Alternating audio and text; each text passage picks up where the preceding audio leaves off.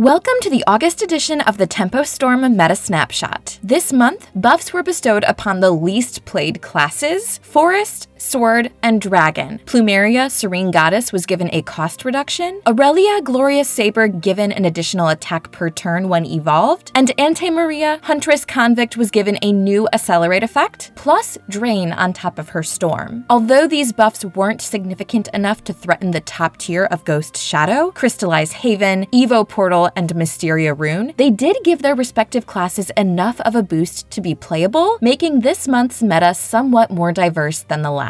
Aside from this, the main shift has been an increase in the popularity of Crystallize as more and more players have grown confident with the deck. Let's take a closer look at the top decks and their recent developments. Crystallize Haven is still around, and its game plan still involves playing at least five Crystallize cards to enable its Storm Ward payoffs, such as Sapphire Priestess and Wingy Chirpy Gemstone, building towards a massive swing turn with Diamond Master, all while hopefully drawing Skullfane the Defiled, which greatly accelerates its combo potential. The deck has fresh options this expansion thanks to Jean Worldwalker, who enables some simple OTKs. With time and practice, players have generally become better at executing the Crystallized Mulligan and game plan, and have also realized just how dangerous the deck is when going first, which means terror in no-ban formats such as ratings. Don't let the importance of Skullfane and the go first card fool you though. The deck has a deceptively high skill ceiling, which is why it's only really coming into its own now. Ghost Shadow is a highly aggressive deck that focuses on chipping the opponent down by summoning a high number of ghosts, then playing Masquerade Ghost past turn 5 to create a board that most decks find tricky to deal with. Late game, the deck can finish off the opponent with Ghastly Banishment, which deals huge amounts of burst damage once you've summoned many ghosts. Ghost grew in power this expansion thanks to the addition of Cerberus Howl of Hades and Hellfire Strike, which allows the deck to deal with boards it couldn't previously. Ghost was comfortably the strongest and most popular deck last month, but Crystallized has since taken its place, not because Ghost has actually gotten any weaker, but because Crystallize has the potential for more explosive high rolls, and more players have learned to play it. Still, Ghost Shadow remains the clear second best. Evo Portal, a combo control deck, can reach evolve counts never seen before, which is what allows it to take advantage of the tremendous payoff Shin, Enemy of Chaos. Once you've evolved 10 times, he will destroy 3 random enemy followers, deal 6 damage to the opponent, heal you for 6, 6, and reduce the cost of all cards in your hand by 3 at the end of the turn. Needless to say, in more aggressive matchups, the healing and board clear is often enough to win the game on the spot, and against control decks, the cost reduction helps to assemble huge combos that can be used to OTK. With its deck lists largely standardized by now, Evo Portal poses a serious threat to any other deck if it can avoid passing away while building up to 10 evolves, which is why its biggest counters are decks like Crystallize Haven, which can potentially win the game as early as turn 7 going first. Crystallize's growing popularity has not been favorable to Evo Portal, but the deck remains solid enough across the board to remain in Tier 1. Mysteria is a combo deck that revolves around playing the newly buffed Anne and Grea Royal Duo and OTKing the opponent with the majestic sorcery they provide. The deck's other key card is Mysteria Magic Originator, which can be evolved to change all cards in your hand and deck to Mysteria cards cards, greatly reducing the time it takes to OTK. The current build of Mysteria plays only a single copy of each of the key Mysteria followers, relying on tutor effects like Freya and Mysterian Exchange to find them all. This makes the deck extremely difficult to play, as one mistake can easily cost you the game. Although the deck might look average at a glance, the fact that it has repeatedly shown up in tournament top cuts and even recently taken a JCG victory proves that it needs to be taken taken into consideration and respected as a top tier deck. Fairy Forest is an aggressive deck that aims to go wide and push damage with cheap followers in the early game, transition into the mid game with Nobilis Sable Lily Queen, then finish the opponent off with storm followers such as Shining Valkyrie, Tamlin,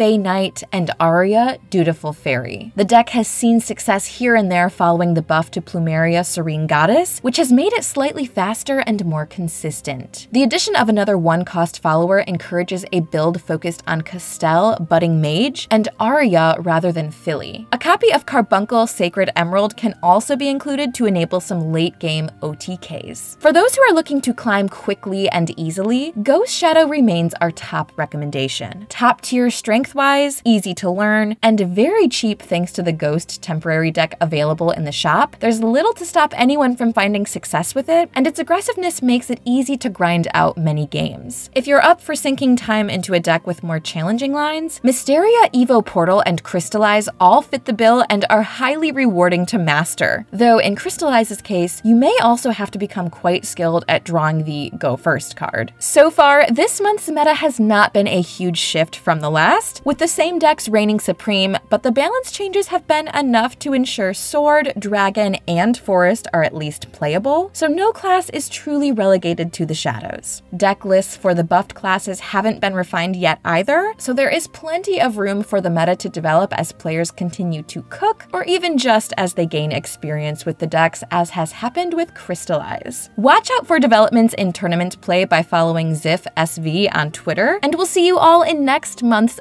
edition of the Tempo Storm Meta Snapshot.